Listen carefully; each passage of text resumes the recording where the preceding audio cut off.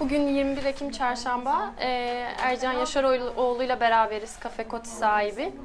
Ee, Ercan Yaşaroğlu kimdir diye başlayalım isterseniz ilk önce. Biraz kendinizden bahsederseniz Berlin'e gelişiniz nasıl oldu? 1980 yılında Filistin halkıyla dayanışma için ben Filistin'e geçtim. Daha sonra darbe olunca, darbeden 3 ay önce çıkmıştım. Darbe olunca e, 1982'ye kadar İsrail Lübnan'ı işgal edinceye kadar Lübnan'da kaldım. Ve İsrail işgalinden sonra e, Berlin'e geldim. Doğu Berlin'e geldim. Onlar dediler Şerefelt Havaalanı'ydı o zaman. İndirdiler, bindirdiler beni bir arabaya. Getirdiler Friedrichstrasse'ye. Bıraktılar. Dediler ki sağa da gidersen, sola da gidersen batı. Anlamadım ama ben bindim. Ben Berlin'i tek biliyordum o zaman. Berlin duvarını duydum ama o bölünmeyi bilmem neden haberim yok.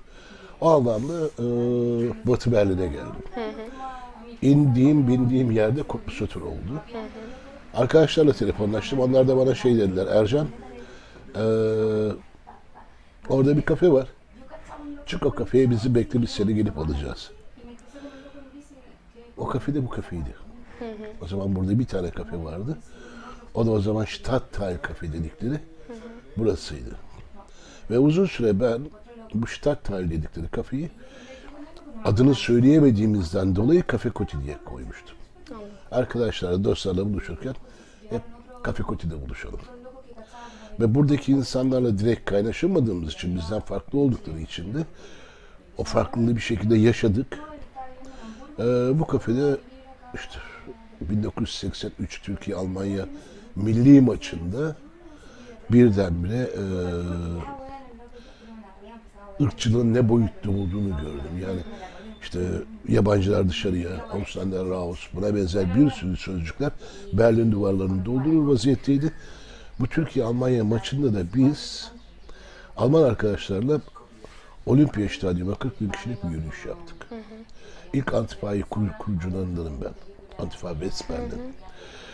O süreçte Almanlarla anlaşamayacağımızı gördüğümüzde 1988'de Antifa Es Gençlik diye bir yapılanma kurdum. O da uzun süre çalışması oldu. Hepsini kısa kısa geçeceğim. Ve ırkçılığa karşı çalışmayı çetelerden tutun da şimdi birileri Türkiye'de interviewler veriyor. Ben şöyle antifaistim, böyle antifaistim. Esasında hırsızlıktan cezaevine girdi, antifa olaylarından değil. Antifa olaylarından cezaevine giren gençler, Kreuzberg'li gençler, bunlar eee, beş kişidir. Bu beş genç de hiçbir zaman bir yere çıkıp ben cinayetten dolayı cezaevine girdim, şu kadar yattım diye böbürlenmedi. O böbürlenenlerin birçoğu esasında yamuk adamlar. Ee, bunu da kısaca söyleyeyim. Türk televizyonlara çıkıp sanatçı pozuyla şöyle antifaydım, böyle antifaydım diyen bir sürü yamuk var. Onlarla bir defa olsun birlikte aksiyonumuz olmadı. Ee, ve 91 yılında sosyal çalışmaya başladım. Sosyal eğitmenlik ve danışmanlığa başladım Kids'te. O dönemde film olayına girdim. Bu gençlik programı vardı. Orada film, çocuk programı. Ve e, iki kültürün birbiriyle diyaloğu kurulsun diye şöyle bir şey var. Türkiye'den gelen insanların istenmeyeceğinin farkına vardım. Biz istenmeyiz. Daha gelir gelmez hissettiniz mi peki Tabii bunu? gelir gelmez hissettim. Birincisi bu- bana mülteci olarak sunulan yardım olayını ret ben de fark ettim. Yani birdenbire ben 24 yaşında delikanlı adamım ve bana sosyal yardıma muhtaç bir duruma getiren bir devlet yapılanması. Ben hayır dediğim için büyük problem yaşadım. Dedim ben sapasağlam. Ben yardıma muhtaç değilim. Sizin bu davranışınız benim onurum ve haysiyetimi kırıyor. Ben yardım almam. Ve o günden itibaren bir daha da almadım. Yani bu şekilde de sağlığım yerine giderse almayacağım dönünceye kadar. Ee, bize sunulan alternatif şeydi. Geleceksin yardıma muhtaç bir herifsin. İlk önce onurumu kıran oydu. İki, istenmediğim her yerde fark ettim. Üç, bizim insanımızın ötekileştirilmesinde den dolayı ortaya çıkan ana topluma yalakalığı gördüm. Onurlu olun demeye başladım. Mahallenin gençlerine, burada yaşayan insanlar onurlu duruşunuz olsun. Benim utanacak hiçbir şeyim yok. Ben 12 bin yıllık kültürel birikimden geliyorum diye. ilk sohbetlere başladım, ilk tartışmalara başladığım dönemdi o dönem. Baktım ana toplum anlama zorluğu yaşıyor. Entegrasyon diye tutturmuş. O dönemde ben demiştim ben entegre olmayacağım. Çünkü entegrasyon dediğin alay asimilasyon. Ben entegre olmayacağım, entegre olmayacak bir herif olarak da burada var olacağım. Ve senin ana- anayasanın birinci, ikinci, dördüncü maddeleri diyor ki Ercan sen geldiğin gibi kalabilirsin. Olduğun gibi seni korumak sonra olduğun gibi varoluşun bu devlet tarafından sağlanmak zorunda diyen bir anayasa var. Demokratik bir anayasa. Bana diyor ki sen inancınla, varoluşunla, değerlerinle burada var ol. Entegrasyon dediğiniz olay parti programlarına ona buna sığmayan şeyler diye tartışmaya başladım. Birçok insan da anlama zorluğu yaşadı. İlk önce Almanların küstahlığıyla uğraşmak zorundaydım. İki, ignorans dediğimiz o ignoransıyla sadece arogans değil aynı zamanda ignoransıyla uğraşmak zorundaydık. Ama bazı profesörler, bazı doktorlar çalışmaları yapmış. 1970'lerde 60'larda öğrenci olarak gelmiş insanların bireysel çıkarları için ana topluma nasıl dürüst olmayan karşılaşmayı yaptıklarını gördüm. Dürüst karşılaşma cami imamının gelip ben elhamdülillah Müslümanım deyip ben bu toplumda var olacağım ve inancımı sürdüreceğim deyişidir dürüst olan. Var olduğu değerlerle varoluşunu sürdürmek. Diğerleri biz entegre olduk. Bunlar entegre olmayan, olmaz diyen insan türüydü. Bunların hepsi entelektüel birikimi veya akademisyen lakırtı yapabilecek düzeyde birikimli olan insanlardı. Entegre olmuş insanlardan bahsediyorum. Birdenbire biz entegre olduk ama diğerleri olmaz deyip değişik konseptlerle kurulan derneklerdi. Buradaki insanın entegrasyonunu sağlamak için belediyelerden, senatodan, e, bundan, oradan buradan paralar alarak kendi varoluşlarını ve kendilerini zenginleştirmelerini sürdürdüler. Ama kimse benim Anadolu insanımın, bakın Anadolu insanı diyorum, Niyon diyorum biliyor musunuz? 72 kültürüm ben. Bende Kafkasya'dan tutun Asya'ya, Orta Doğu'dan tutun Balkanlara kadar kültürlerin hepsi birlikte yaşar. Ve biz Anadolu'yuzdur. Biz Türkiye'yizdir bunlarla. Ve Türkiye'den gelen göçmenler de bu şekildedir. Burada var olan 3,5 milyon göçmenin kimliği de 72 kültürel birikimin kaynaşmasıdır. E, inançlar da öyle. Anadolu'nun içerisinde olmayan inanç yok. Bu inançlarla varlığımızı sürdürüyoruz. Ana toplumda bu tartışmaları yaparak bugüne kadar geldik. Bugün anlaşılmaya başlamamın, başlanmamın nedeni de Avrupa kültüründe veya Anadolu'da e, şey e, Berlin'de gelişen biz kültürü oluştu. Bir biz kültürü gelişti. Biz kültüründe insanlar nasıl olursa olsun var oldukları şekilde kabul edilir. Kimliği ortaya çıktı, davranışı ortaya çıktı. Ama bu ne yazık ki sadece genç kuşaklar arasında. 40'ın üzerinize çıktığınızda aynı arogansı ve ignoransı göreceksiniz. Ben Alman arkadaşlarla e, Kreuzberg'teki bu liberal, solcu, otonom, punk, ona benzer arkadaşlarla ırkçılığa karşı birlikte mücadele ederken tartışmalarında hep entegrasyon tartışması beni ötekileştirmektir dedim. Benim farklılığımı ön plana çıkarmakta. Ve ana toplumun yapmış olduğu bizdeki en önemli şeylerden birisi bizim farklılıklarımızı konuşması. Bizim farklılıklarımızı veya eksiklerimizin diyaloğunu, benimle diyalog kurarken farklı olduğumu veya Almancadan dolayı veya ona benzer şeyler eksikliğimi konuşması veya benimle namus cinayetini konuşması veya benimle Bin Laden'ı konuşması veya benimle İslami İslami fobi dediğimiz olay da ırkçılıktır. Bunu da bu şekilde söyleyebilecek ne yazık ki ülkemden gelen çok az, çok az bu olayda e, bu ötekileştirmeler kendi insanından kaynaklandığını, kendi insanının yalakalık düzeyinden ana topluma bireysel çıkarlar için yaklaştığını görünce onun adını da şey koydum. Unerliche Begegnung. Yani dürüst olmayan karşılaşma. Sadece bireysel çıkarlarını düşünüp ana toplumdaki insanları aptal yerine koyup onlara duymak istediklerini söyleyip kendini zenginleştiren insan türleri. Bu Berlin Senatosu'nda senatolarda gelişti. Ee, sadece Berlin Senatosu değil. Genelde tüm eyaletlerdeki senatolarda bu tür kimlikler ortaya çıktı. Ee, Bundestag'da bu tür kimlikler ortaya çıktı. Bu kimlikler daha sonra daha yalakalıklarını daha ileriye götürerek hem Anadolu'dan gelen insanın ötekileştirmesinin motorları oldular hem de e, mesela Frau Merkel e, Cumhurbaşkanı arasındaki sürtüşme döneminde birdenbire Alman dişlerinden daha çok gürültü yapan insanlar türedi. Hı hı. Bu insanlar esasında benim meclise seçip gönderdiğim insanlar değil. Meclise seçip gönderdiğimiz insanlar bizlerin sorunlarını dile getirip ana toplumda bir şekilde diyaloğun sağlanmasını sağlanmasını sağlayacak olan insanlar. Ne yazık ki bunu hayata geçiren bugüne kadar kimse olmadı. Bu egoizm dediğimiz olaydan dolayı yani bireysel çıkarların kaynağı egoizmdir. Bundan dolayı bizim insanımızın açıkleştirilmesi devam edilir. İki, e, kimliğimi gene açıklarken bu yüzden açık, açıklıyorum. Anlaşılmak, daha sonra söyleyeceklerim anlaşılsın diye. En büyük sorunlardan birisi kendi kimliğini reddeden bir kuşak ürettik biz. İkinci kuşak tamamen kendi kimliğine mutsuz burada.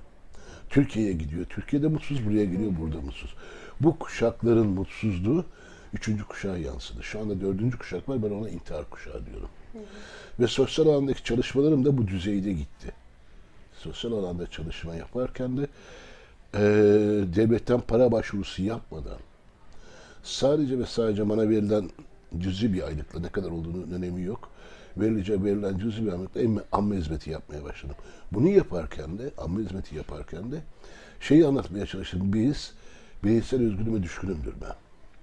Ama toplumsal yaşamayı da becerecek ve toplumsal sorumluluk alıp yaşaması gereken insan türü olduğumuzu anlatmaya çalıştım ki Anadolu'da biz böyle öğrendik. Ee, bize verilen aile içi eğitim, toplumsal eğitim ve okuldaki eğitim, öğretimi kastetmiyorum. Öğretmenlerin vermiş olduğu eğitim, insan ailesine karşı, topluma karşı sorumlulukları vardır. Bunları yerine getirirle büyüdük. Bize sadece öğretmediler iki kere iki, dört sen akıllı oldun şimdi diye. Bizim değerlerimiz üzerinden öğretmenlerimiz bize notlama yapardı. Peki bu siyaseten aktif olduğunuz ve toplumsal özgürlükleri e, savunduğunuz görüşleri e, belli edebileceğiniz, sesinizi duyurabileceğiniz e, bir platform var mı sizce Almanya'da, Berlin'de? Ben bu bunu genelde Alman basınına giderek yaptım. Alman basınında kendim ha, pardon o kendimde belli bir süre buradaki Info Radyo'da e, artı demin ki bahsettiğim TATS ve e, Türkçe Almanca çıkardığımız Perşembe'de ve serbest gazetecilik hayatımda Alman basını içli dışlı olmuştum. Ve onlarla da bu, dürüst tartışmayı, tartışmayı onlarla birebir kendi değerlerimle sürdüm. Onların da o yüzden güveni ortaya çıktı bana karşı. Çünkü ben yankılık yapmıyordum. Ama beni küstahlık yaptığında sen beni aşağılıyorsun veya sen bana küstahlık yapıyorsun. Sen şu anda beni ignore ediyorsun diye sürekli tartışarak ana toplum içerisinde kendimi kenarda değil toplumun ortasına çıkardım. Yani ana toplumla dürüst karşılaştığında ana toplum seni reddit etmiyor. İlk önce anlamaz olduğu yaşıyor. Çünkü diğerlerinden farklısın. Onun bugüne kadar gelmiş olan kimliklerle karşılaştığından farklısın. Ve o tartışmalarda direkt sorunları Alman basınıyla tartışır hale geldim. Sadece Türk, Türkçe yazılan veya Türkçe basınla değil, aynı zamanda Alman basınıyla tartıştım. Kreuzberg'in sorunlarını Alman basınıyla tartıştım. Ee, Türk basından daha çok Alman basınıyla konuşur hale geldim. Peki düşünce özgürlüğü mümkün müydü bu ortamlarda? İstediğiniz gibi konuşabilmek mümkün mü? Şimdi şöyle bir şey var. Eğer Almanya'nın çıkarlarına ters düşen bir şey söylediğim anda e, sansür demeyelim ona ama e, bir şekilde tıraşlanıyorsunuz. Bir şekilde sınırlarınız konuyor. Bunu yapan e, şey değil, gazeteci arkadaşlar değil, redaksiyonlardı. Bu redaksiyondaki insanlar benim söylemiş olduğumun dışında dışında değil. Söylemiş olduklarım tümünün bütünün içerisinde kendi işlerine gelen kısımlarını bırakıp diğerlerini tıraş edebiliyordu. Ama bunu bilmeme rağmen ben konuşmaya devam ettim. Ve e, ana toplumda bana karşı bir güven oluştu. Aynı zamanda göçmenlere ulaşabilmek için arkadaşların yardımlarıyla veya dayanışmasıyla ana, e, kendi insanıma da seslenir hale geldim.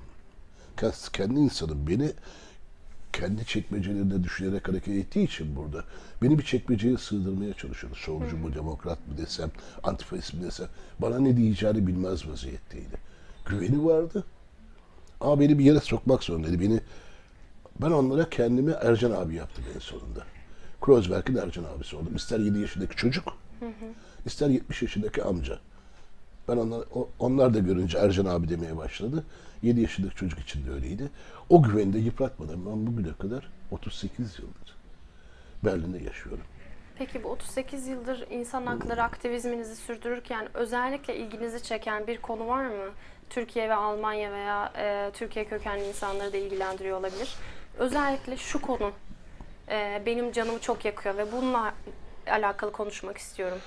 Şimdi Kreuzberg'le Harlem'i karşılaştırıyorum ben.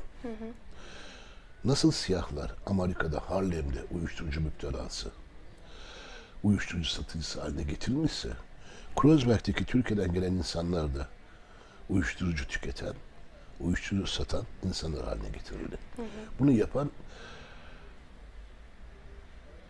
isteyerek bu ortamı yaratan, bu provokasyon alanını yaratan, Kreuzberg'i bu hale getiren eee, devletin belli, Alman devletinin belli unsurlarıydı.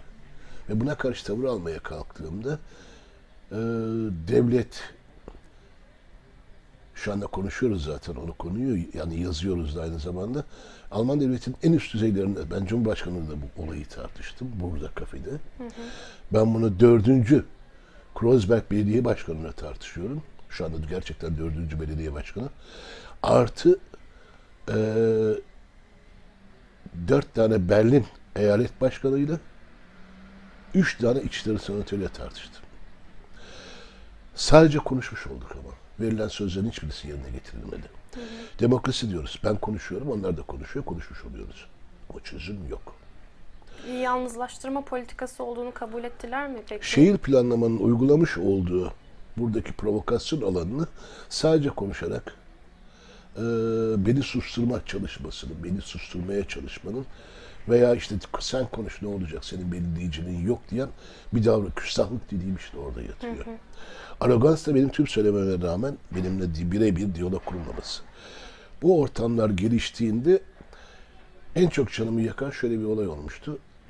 Alman Milli Sol, Milli, e, Alman Milli Sol Partisi'nin bürosuna gidip bu göçmenlik oyun dediğimiz, immigration game dediğim olayın 1900 pardon 2015'te başladığı dönemde ben gidip onlardan yardım istedim. Dedim ki bunlar beni en iyi anlayacak partidir.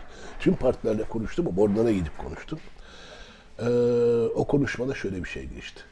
Avrupa Parlamentosu var, Bundestag var, Landestag var, Kreuzberg.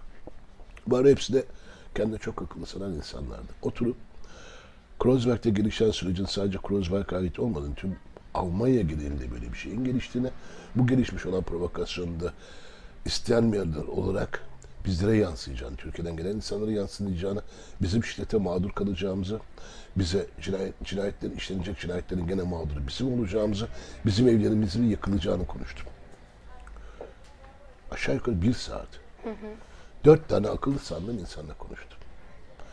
Bu konuşmanın sonucunda oradaki çok akıllı insanlardan birisi dedi ki tamam dedi Ercan haklısın bu sorunu biz HDP ile konuşacağız. Birdenbire dedim ki arkadaşlar ben size Orta Doğu'daki bir sorunu veya Türkiye'de bir sorun için gelmedim. Ben Berlin merkezindeki Kreuzberg'den bahsediyorum. Ve Almanya'nın diğer göçmenlerin yaşamış olduğu şehir parçaları isimlerini de söylüyorum. Hannover diyorum, Lindenviertel, Hamburg, Altona, böyle sayıyorum göçmenlerin yoğun olarak oturmuş olduğu mahalledeki provokasyon olanların Alman devletinin veya bazı yapılanmaların isteyerek yarattığını anlatıyorum. Karşımdakinin cevabı bu. Bunu söyler söylemez ona dedim ki bak arkadaş ben buraya geldim. Sen demokrasi, solculuk bilmem ne lakırtısı yapıyorsun. Sen Alman millisi olarak benimle konuşuyorsun. Ben sana bir şey söyleyeyim. Sen beni vatandaş olarak görmüyorsun. Sen beni seçmen olarak görmüyorsun. Sen beni parti üyesi olarak görmüyorsun. Benim en güvendiğim parti sizsiniz. Geldim sizinle konuştum. Ve sizin tavrınız bu. Alman faşisti Ali evine git dediğinde ben Alman kimliğimi gösterdim de susup başını eğip, önüne eğip yürüyor. Ben bir dahaki parti büronuza gelişimde ilk önce benim Alman kimliğimi böyle size göstereceğim.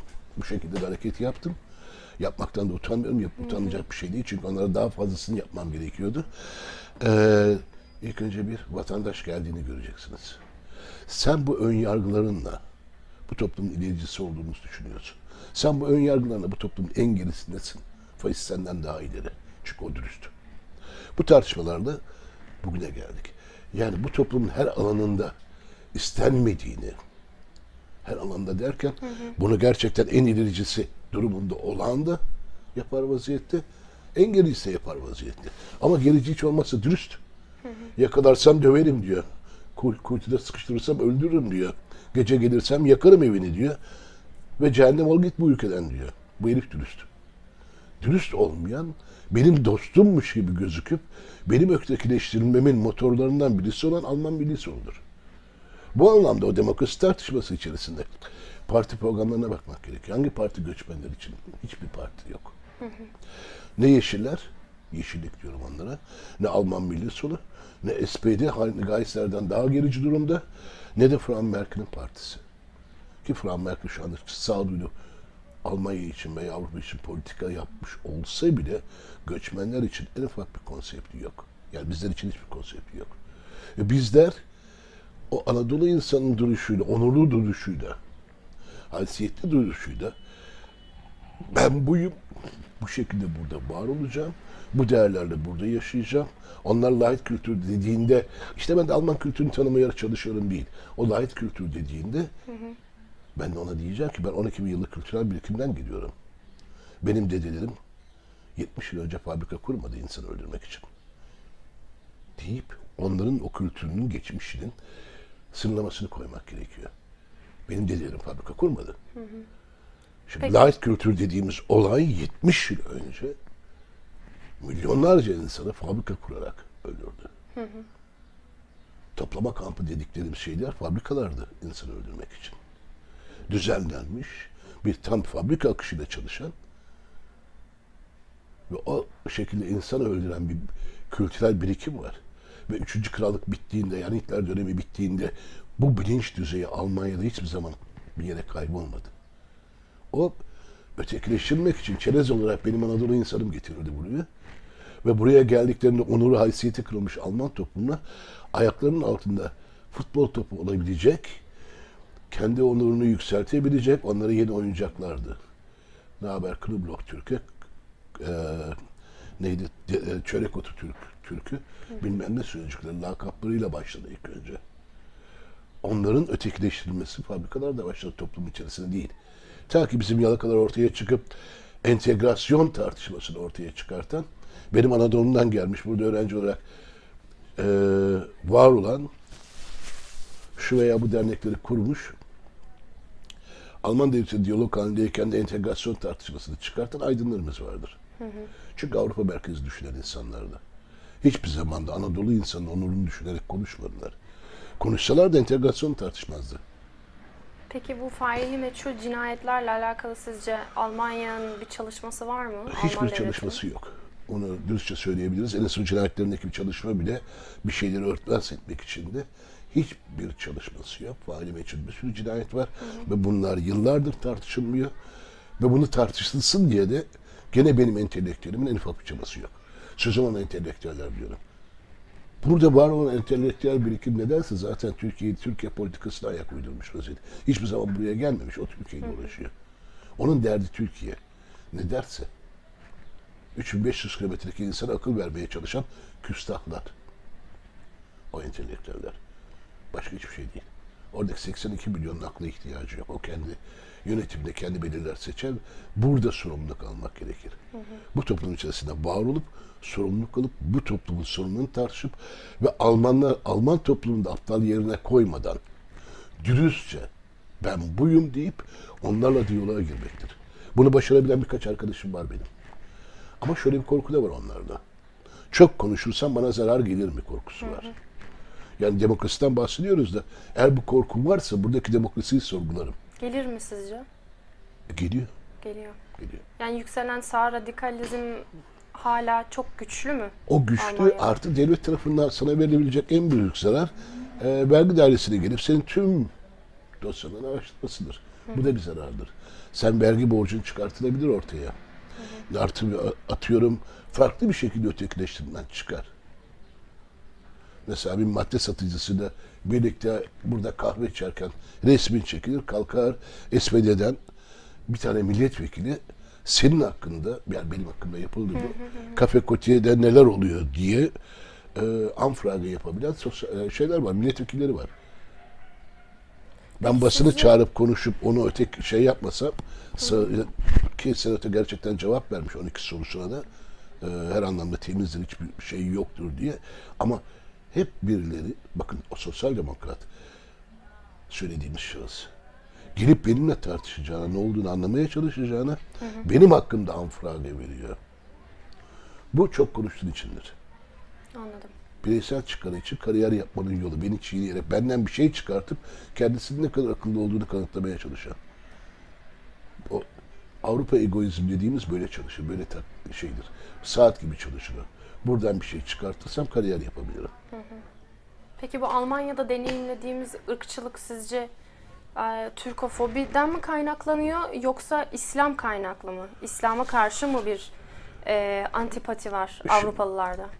İlk olay şimdi geçmişten bugüne kadar bakarsak istenmeyenler Türkiye'den gelen insanlardı, Türklerdi.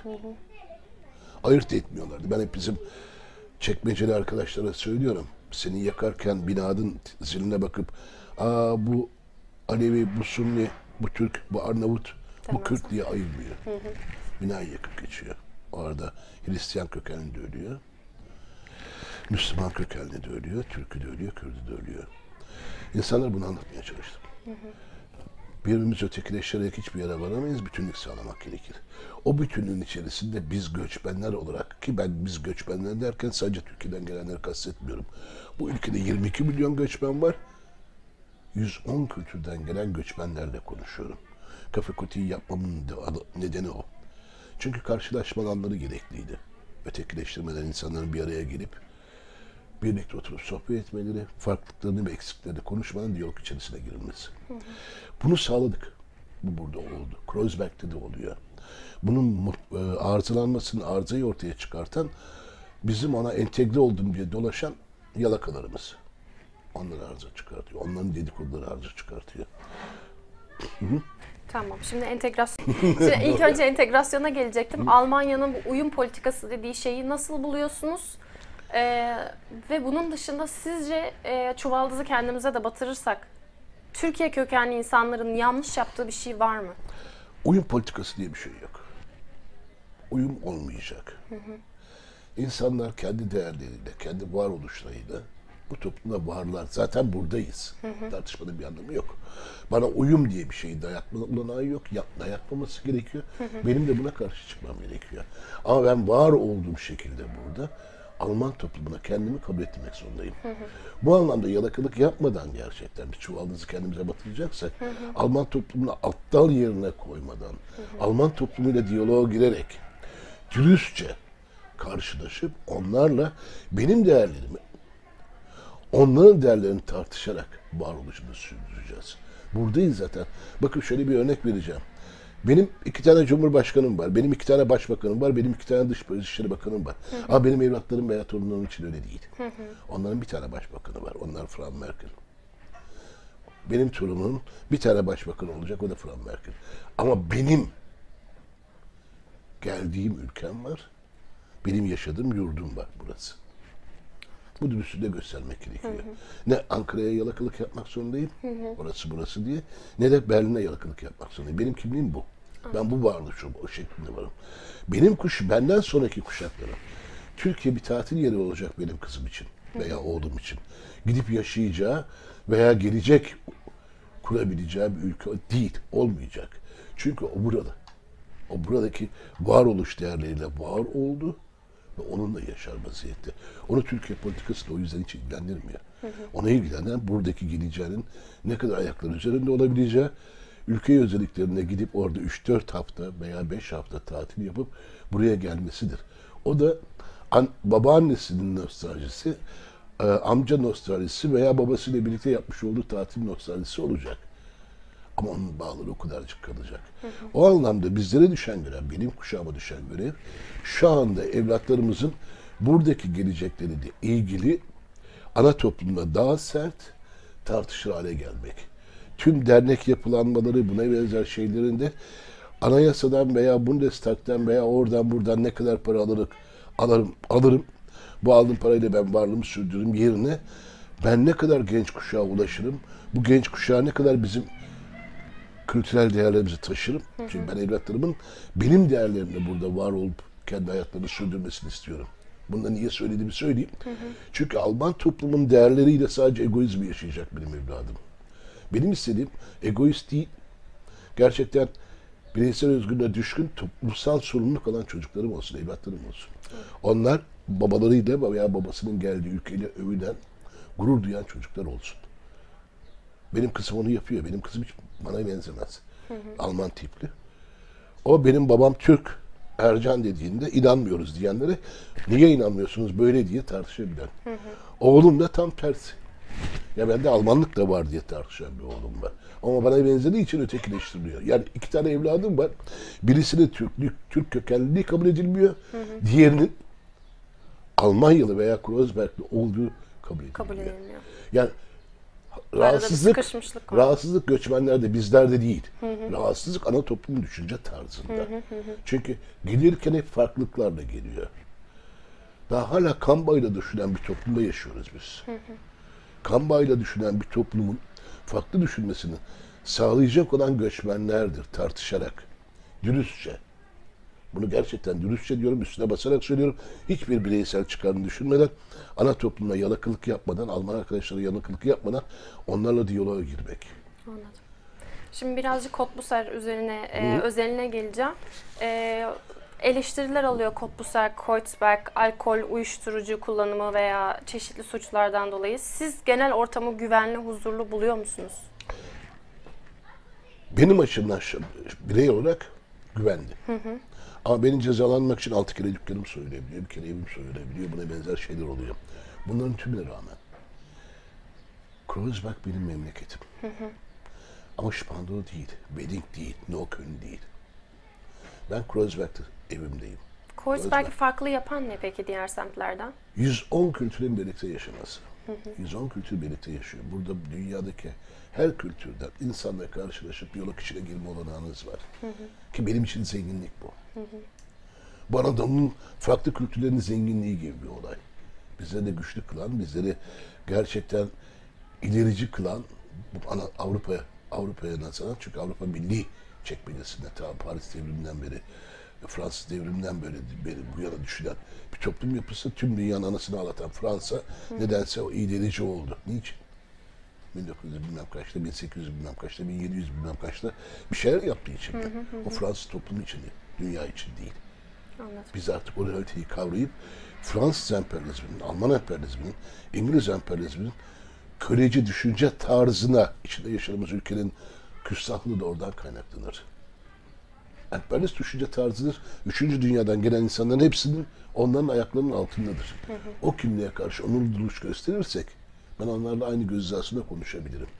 Aynı göz hizasında konuşmanın yolu da bu mahallenin ötekileştirilmesini engellemekten geçer bu provokasyon alanını Sotor'u yaratan Berlin senatosıdır, şehir planlamasıdır, Herlummer'dir. Ve onların yarattığı çukurda benim gençlerim uyuşturucu bir parası ve uyuşturucu satıcısının durumuna getirildi. Velilere ve e, bizlere düşen görev gene bu provokasyon alanı temizlenmesini sağlamak. Ne bedeli ödenecekse ödeniz ama burası artık uyuşturucu parasları olmanın dışına çıkacak. Yani burası Harlem değil. Burası Harlem değil. Harlem'de olmayacak burası. Yaptırmayacağım onlara. Bunu tek başıma söylerken de yaptırmayacağım derken mahalledekinin daha hala o korkaklığı, çekingenliği sürmesine rağmen burada dört tane esnafla birlikte yapıyoruz. Aşağı yukarı 99 esnaf var. Ama dört tanesi arkamda, yanımda, önümde yürür vaziyette gerisi. Sadece kasasına bakıyor. Bireysel çıkar anneler babalar oğlunun getirilmiş olduğu üç kuruşla nasıl bahis bürosunda bahis oynayacağını veya şiplo, e, şiplotekte yani e, ne oluyor? Kumarhanede nasıl otomatlarda oynayacağını düşünür vaziyette. Bu kimliği yaratan Berlin Senatosu veya Alman Berlin'in şehir planlamasıdır. Başka bir şey değil. Bu şehir planlaması o zaman toplumun özünü, dokusunu da değiştiriyor mu Hayır, gençleri ötekileştirmek için Türkiye'den gelen insanın öteki kılınması, burası küçük İstanbul diye anılır. İstanbul'u görmemiş salaklar öyle sanıyorlar. Burası bir köy bile değil. Evet. Türkiye'nin herhangi bir köyü bile buradan daha temiz, daha der, der, daha derli toplu. Bir kere bunu anlatmak gerekiyor bunlara. İkincisi, e, beni ötekileştirmek için. Bu buna bindiğinizde size bakan her Alman sizde bir madde satıcısı veya tüketicisi kimliğini görür. Veya pezevenk kimliğini görür. Veya hırsız. Köln olaylarından sonra o bana bindiğimde sarışın kadınların sağlı sollu kaçışmalarını, Alman erkeklerin kötü kötü bakışlarını gördük. Yaşadık biz bunu. Yani çok akıllı değil bir toplum. Hep akıllı olduğu söylenir, çok okumuşluğu söylenir. Realite okumuşluk da değil, ezberlikçilik okumuşluk. Ben insanlar okumasını bilmiyorum, okumak gerekiyor. Ama ilk önce içinde yaşadığımız alanların realitesini kavramak gerekiyor. Bunu kavramış bir Alman toplumu yok. Bu alan provokasyon alanıdır benim için ve Türkiye'den gelen göçmenin ötekileştirilmesi için yaratılmış, suni yaratılmış bir alan. Dikkat edin mahallemde 30 yıldır madde satan insanlar var. Evde madde yakalatır, silah yakalatır, para yakalatır. Üç gün sonra serbest. Ve o insan bana diyor ki bize bir şey olmaz. Dayılarım var benim. Dayı dediği polisler. Evet. Yani bunları biliyorum ben. Bu alanın realitesini en iyi tanıyan insanlardan birisiyim. Son 5 yılda 44 kadının ırzına geçildi bu alanda. Bunları da bilerek konuşuyorum. Ama bunları duymuyoruz çok fazla. Ne yazık ki Avrupa hiç kimse medyasında. yazmıyor. Ama Berlin Sanatı'na girdiğinizde tüm istatistiğe ben Mustafa'ya gönderirim maili. Ee, tüm o seksüel delikle dediğimiz olayların 2015'ten bugüne kadar olan rakamları ortada. Ve ne yazık ki sadece beni ötekileştirmedi. Suriye'den buraya yardım için gelen, dayanışma, e, benimle dayanışma gösterin diye kaçan, sığınan insanların ötekileştirilmesi de motoru oldu. 1 milyon insanı 5 bin eşkıya ile 1 milyon insanı suçlu hale getirdi Almanya. Bu politik sorumsuzluk, demokrasi değil. Benim bildiğim demokrasi alanın içerisindeki insanların belirlediği ve söylediği, ifade ettiği zorlukların ortadan kaldırışından geçer. Peki röportajın sonuna yaklaşırken eee, pandemi zamanı Kreuzberg esnafında veya Kreuzberg'de semt olarak bir değişiklik gördünüz mü? Neler gözlemlediniz? Ee, Kreuzberg bir esnafında şöyle bir şey ortaya çıktı. Birdenbire ne kadar diken üzerinde oturduğumuzu fark ettim. Birdenbire ben buralıyım diyorum da benim esnafımın, komşumun, arkadaşımın korkularının ortaya çıkışını gördüm. İstenmeyişimizi gördüm. İki, birdenbire bizim takıdan bahsedeyim. Takının müşterisi sadece şey kaldı, Türkler kaldı. Türkiye'den gelen insanlar kaldı. Birkaç Alman arkadaş takılır hale geldi. Birdenbire benim Vietnamlı, Vietnamlı komşuma kimse yemek yemez oldu. Çin suçlamalarıyla yarasa yenmiş, yılan yiyorlarmış, şunu yiyorlarmış diye, çok pislermiş diye tartışmalar ortaya çıkınca bu ırkçılıktır. Bu ırkçılığı yaparak benim Vietnamlı komşunun dükkanı bomboş kaldı. Benim diğer ta- taraftaki esnafın da dükkanları boşaldı. Ve birdenbire tüm esnaf diken üzerinde oturur hale geldi. Şu anda en büyük korkumuz Kreuzberg'de korona sayıları yükseldi deyip gelen e, müşterilerin de veya burada buralı gibi kendini hissedip burada dükkanları gezen insanların gelmemeleri. İki yardımlarda sorgu hepimiz birer e, şeymişiz gibi, dolandırıcıymışız gibi muamele gördük. Bugün Kreuzberg'de olanlardan belli.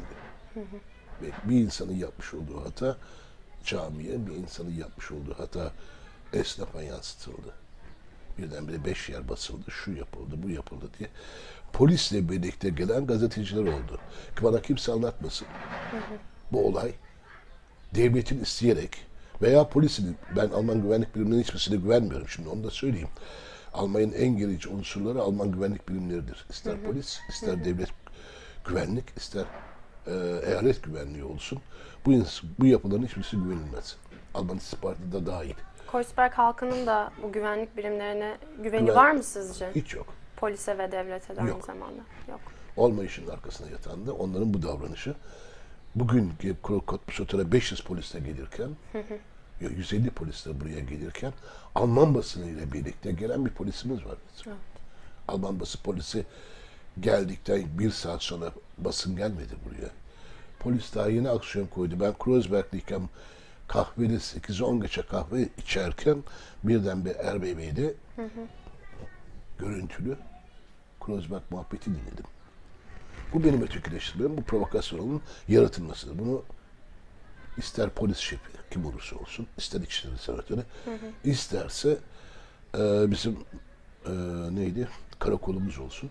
Bunlar düşünülerek yapılan şeyler. Bizlerin ötekileştirilmesi için yaratılan olay. Ha, İslami fobiye gireceğim çok kısa. İslami fobi ırkçılıktır. İslami fobi diye bir şey yok. 300 yıldır İslam'la iç içe yaşayan Alman toplumunun son 4 yılda İslami fobi diye bir olayı tartışması ırkçılığın daniskasıdır. Bunu başlatan da bizim şu andaki İçişleri Bakanımızdır. İçişleri Bakanımız şu anda yeni yeni toparlamaya başladı sözcüklerini seçe- seçerek. Onu da televizyonda naklen ona söyleyince İslami fobi dediğin olay ırkçılıktır ve sen ırkçısın dendiğinde daha hala anlama zorluğu çekiyor herif. Ee, herif diye bahsediyorum çünkü gerçekten benim İçişleri Bakanım değil. Çünkü benim güvenliğimden sorumlu değil o herif. Çünkü benimle bir derdi yok. O yüzden benim İçişleri Bakanım hiçbir zaman olmayacak. Ee, son soruma geleceğim. Berlin'de veya Kreuzberg özeli olarak da düşünebilirsiniz. Bir tek şeyi değiştirmek isteseniz ne olurdu? En önemli şey sizin için. Tüm çekmecelerin kırılması. Gizli kalan hiçbir şey olmasın mı? Gizli kalan hiçbir şey olmasın. İnanç çekmecesi, milliyet çekmecesi, farklılıklar, benim derimin rengi, buna benzer farklılıkları konuşmadan biz kültürünün yaratılması. Tek istediğim o. Anladım. Çok teşekkür ederim vakit Rica ayırdığınız için Ercan Bey. Siz çok sağ olun bana konuşma hakkı verdiğiniz için. Sağ olun.